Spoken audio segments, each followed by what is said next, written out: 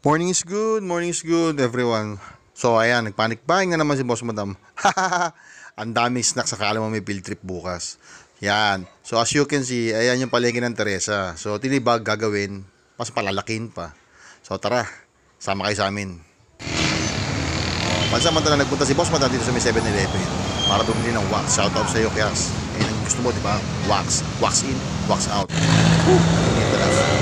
Oh, napapansin niyo may nasa dito. Jollibee! Jollibee. Parang masarap ang Jollibee ah. Pero wag kawawa naman si Kiara. Naiwan mag-isa. Ang pera mas sa kanyang dalawa kami ni Jollibee. Galit yun. O, tingnan nyo gano'ng kainit sa likuran ko. Mainit talaga. So, sama kayo. Pupunta natin kung saan nilipat yung bagong palengke ng Teresa. Let's go!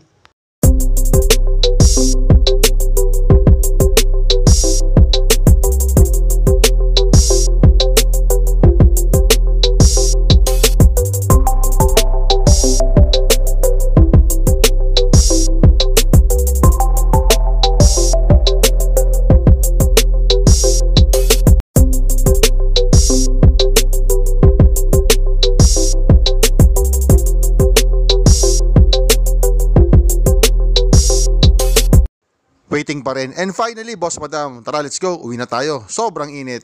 Tara. So ayan, kakalagpas lang namin ng Patty Beach. Papasok na kami ng Greenview Isle Subdivision. So marami rin mga food store dito. Check out ninyo. Ayan. Banking na konti. So meron na naman tayo nakita mga rice fields. Ayan, Bria Homes. Yun, nakikita naman natin. So dito sa kanan ko, ayan, ay ilelera ng food stall. Check out din yan, tuwing hapon niya nagbubukas. Maraming food dyan, daming FTN. So tara, kami nagmamadali na pauwi na kami. So bye bye, thank you for watching. Happy anniversary for us.